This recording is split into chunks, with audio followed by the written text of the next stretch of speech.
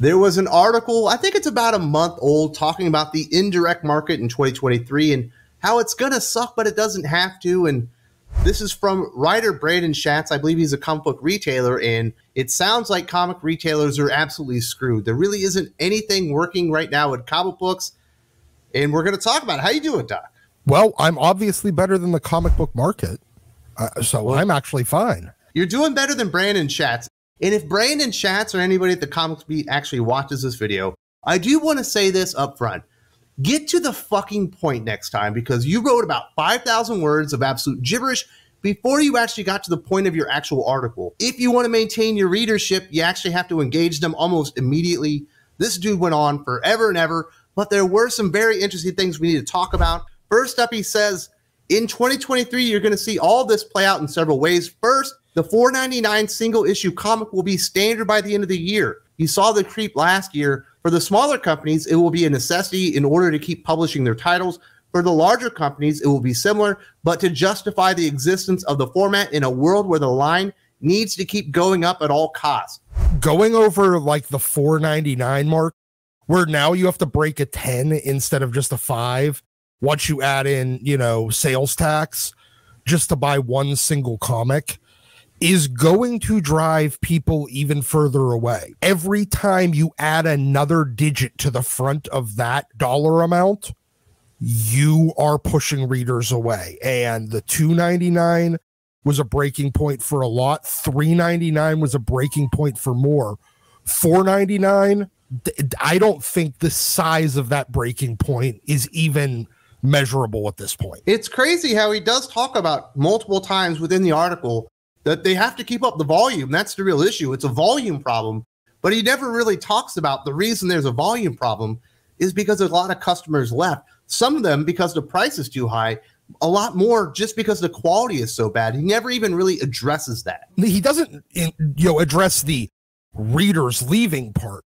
He addresses all of those ancillary reasons why readers left, but the overall concern of people stopped buying and our audience and customer base is one tenth of what it was is not addressed at all. He talks, he brings this article in from 1995. And yes, that article does have a lot of the same complaints as we still do have right now. The one thing he never talks about, though, is the fact that it drove readers away. All those problems that were present in 1995 that are still present in 2023 had a consequence because they were never addressed. And half of this article is him basically saying, well, it's been the same problems forever, and the comics industry is still here. So it'll be here forever and it's never going away but he never looks at the fact that there were consequences. Price point glut quality too many books not enough good talent. All those items that he he talks about each year that that problem is not addressed you lose more percentage of your readers. Guess what your end result is? Well we have a volume problem. He also says you're going to see diamond continue to struggle. Penguin random house will continue to be just fine and they'll announce another publisher or two joining their ranks. No one small. You'll see this because they were built outside of the direct market in a system that was quite frankly built better. They also didn't start up a distribution arm to make money today. They did it so they could make money tomorrow. It will continue to feed the graphic novel market even as it becomes harder and harder for any and all parties to turn a profit on the production of single issues itself. It will continue to exist because Penguin Random House can support that better than Diamond can. And Lunar will continue to exist because they don't pretend to be anything else other than who they are. He really does spell a lot of doom and gloom from Diamond Comics. We did hear that they're going to cut shipping costs, I believe, by 40%. But I've talked to a lot of, of retailers, and they're just not competitive in the market today. The writer of this article, he does make a few points on the fact that, hey, look, they were the market leader for a long time. They were the sole distributor and they did nothing to innovate. They didn't change. And then when the, the pandemic happened, people started seeking other options. Now all of a sudden, they were the dinosaur that was too big, that couldn't change, that didn't change. And he somehow gives credit to Lunar and Penguin Random House other than the fact that they didn't have anything to fix, they didn't have any reorganization to do. Yeah, Diamond's going to have that problem. They were monolithic and they need to change. But his thing here about how Penguin Random House isn't built within the system and was built in a system that frankly works better, Lunar doesn't pretend to be something it's not. It's all horseshit gloss covering over the fact that they're all doing the same fucking thing. They're selling. They're not all doing the same thing, Doc. I can tell you that right now. If you are getting your comic books from Lunar, you're getting them very early in comparison to Diamond. If you're getting your comic books from Lunar, they are packed absolutely magnificently. You are not going to have any damaged comics. You will not get that from Diamond Comics. And I've also heard very good things about Penguin Random House getting things early, and they have no shipping fees, which makes it a much better deal for local comic shops. Oh, I agree on all that. My point of they're all doing the same thing isn't there the way that they actually give you the comics.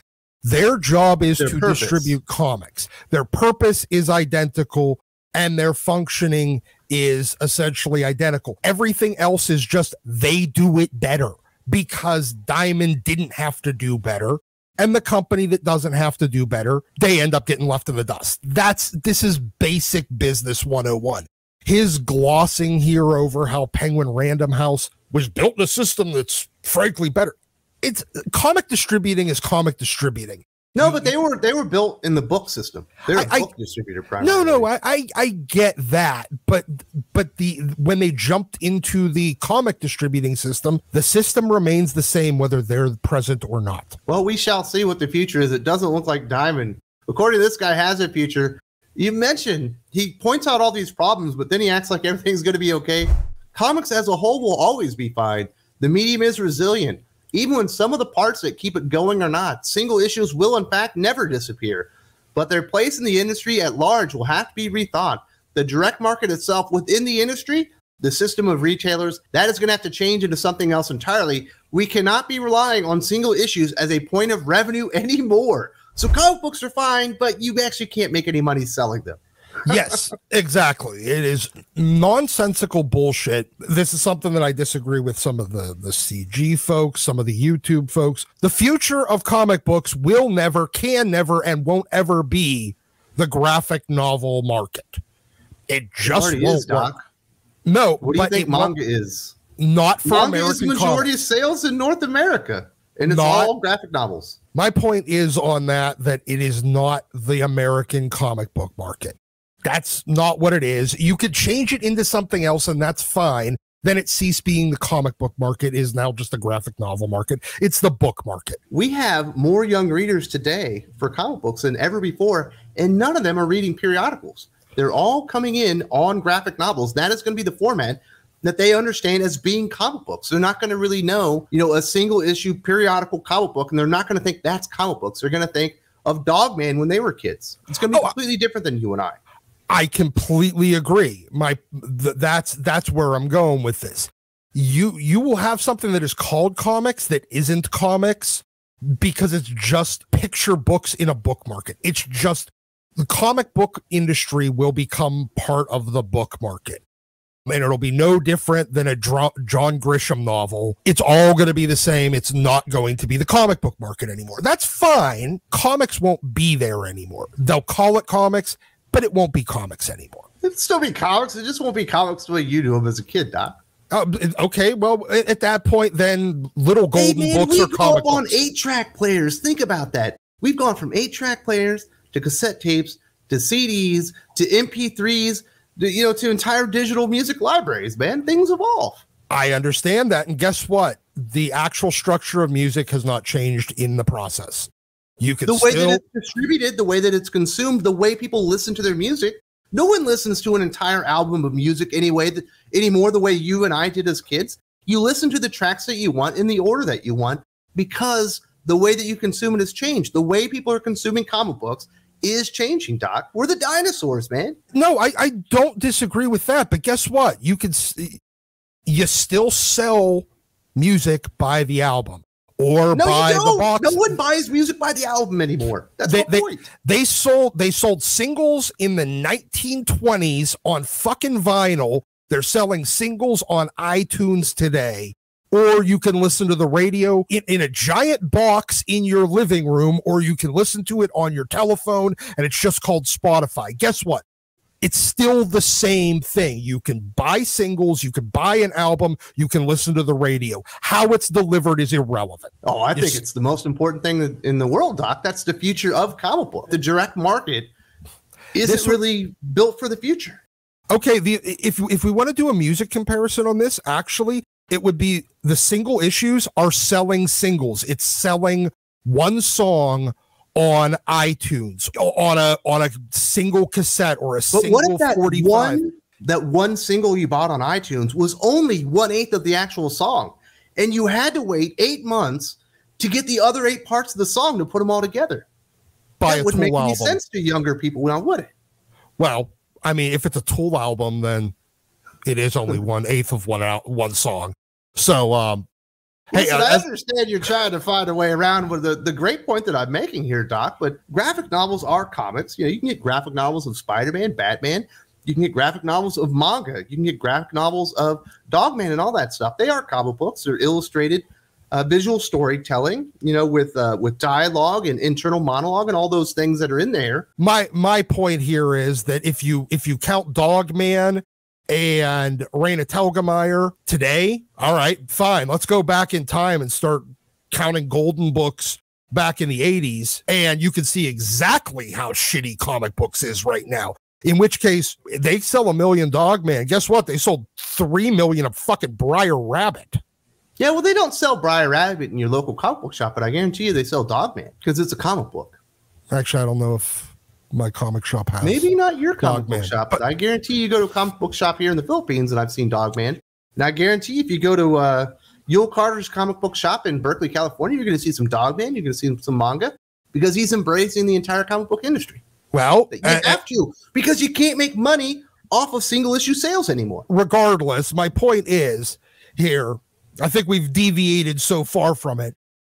This article ignores the fact that nobody buys fucking comic books anymore and that's why they can't sell them. And not offering any single solutions. He hints unless you can do a substack because he pimps that thing out about eight times in his 9000 words. He's not he makes entire, points. he does make some good points in this article but then he undercuts them with the well whistling past the graveyard bullshit of oh and then everything's going to be fine. Also we have to entirely change how the fundamentals of the direct market work. And well, yeah, we built it wrong in the first place. So blame well, those guys in the seventies. Is is the way that you massive change on that level takes capital, and there's no capital because there's no money to be made on single issue comic book sales, which is the bottom line problem that he's pointing out here. And, and it's why comic book retailers should be scared shitless to be heavily invested in comic books. You need to be in graphic novels. You need to be in tabletop gaming. You need to have e-commerce. You need to have a variety of options to make money. You can't have all your eggs in that comic book basket because it's putting so many people out of business right now. Well, there's a little bit of revisionist history in here too. But yeah, I mean, he, he does make some good points that essentially they can't rely on that. We all know that. We've been saying that for five years now on this channel. And we were probably called all kinds of ists and phobes for doing it by the same assholes that are writing these fucking articles right now. Once again, what's the difference between a conspiracy theorist and the news? Approximately five years in the comics industry. Yeah, apparently so. It, it's it was interesting stuff. I do not recommend anyone read the article because he does not know how to get to the point. But I basically gave you the important stuff that kind of happens at the end as he rambled for fucking word upon word. It, it, took a long time to actually get to the meat of this. So I'm worried about local comic book shops. I'm worried about the direct market, and I think we all should be. Agreed here. Um, hey, if you want one reason why you shouldn't believe this guy doesn't have any credibility, he refers to the beat as one of the last bastions of comic book uh, discussions.